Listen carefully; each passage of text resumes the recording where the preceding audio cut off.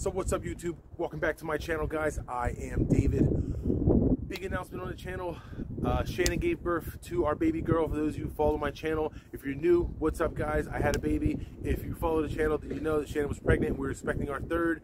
Well, she is officially six days old. Six days old as of this recording. She is here. We're super pumped to have her. We named her Liliana, guys.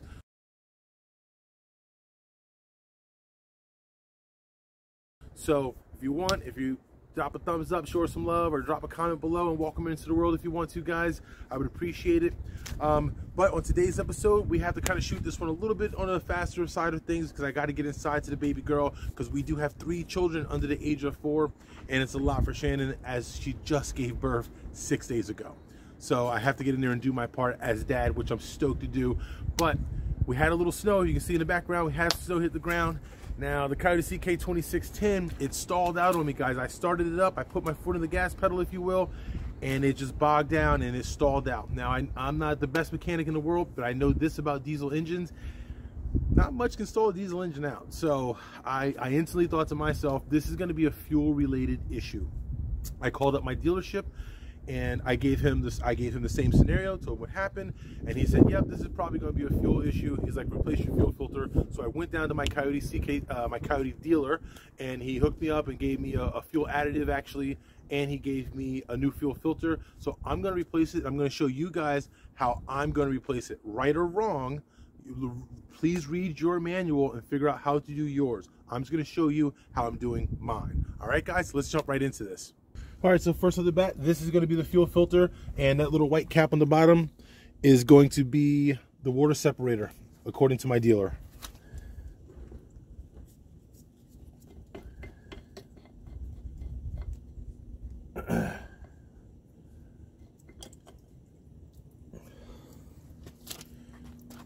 this piece does not come on my new fuel filter, so I'm going to have to reuse this piece.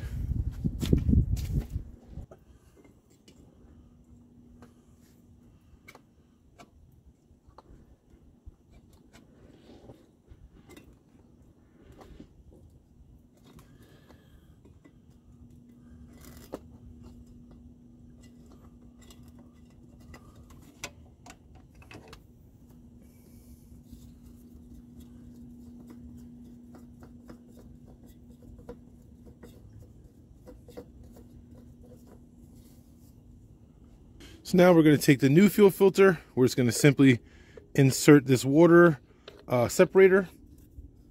Give it a nice snug on there. now, one of the mechanics down at my dealership said to fill this up with a little diesel to make the priming process go a little faster. So I'm going to take this over and fill it up with some diesel real quick, and we're going to put it on. All right, got some diesel in it. I'm just going to go ahead and pop this guy back on.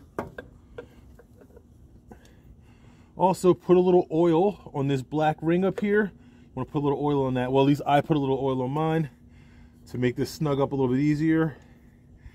And I'm sure this is like any other filter where hand tight is to be good.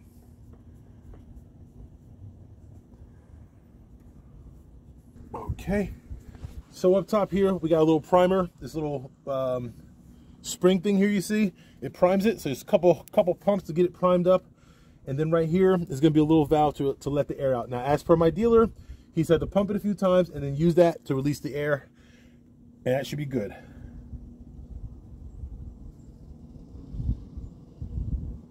I'm giving it a snug back down. I'm going to hit it one more time with the primer. And let's see if this guy will start.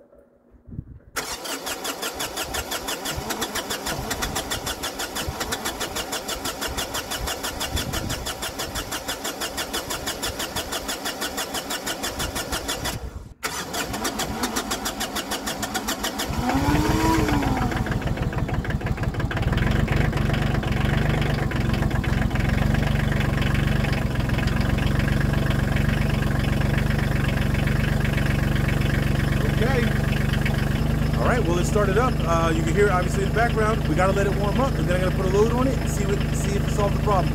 Fingers crossed. I really hope it did.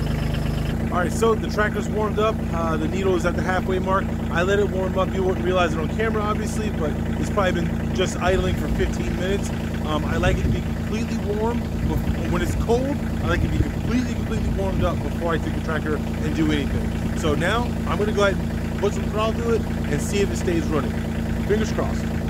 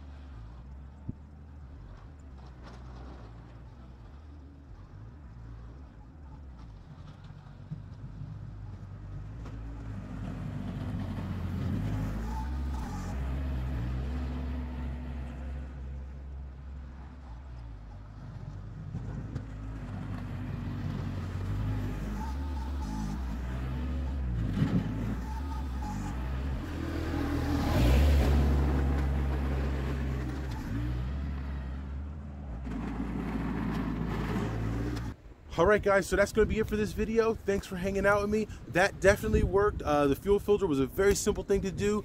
Uh, I would encourage that if your tractor stalling out or you're having an issue with it, as far as starting or anything like that is concerned, I would say try that fuel filter out, guys.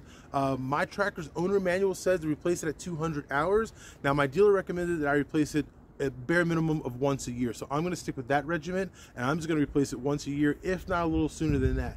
Now, that being said, check with your dealer, check with your owner's manual and all of that stuff to make sure it is that is going to be a similar problem. If you're having a similar problem, that that is going to be the case scenario. You don't want to destroy your piece of equipment. So go the extra mile, make sure it is what it is. In my opinion, before you do anything, just make sure but it worked for me. Super pumped, guys. So I'm out of here. Thanks for hanging out with me. Uh, like I said, a little short video, not that big of a deal, but I got to get running, go take care of them babies, guys. So we're going to end it here. Two things as always. Do not forget to take the time to enjoy what you do. And don't forget, work does not do itself. So don't be afraid to get out there and get after it.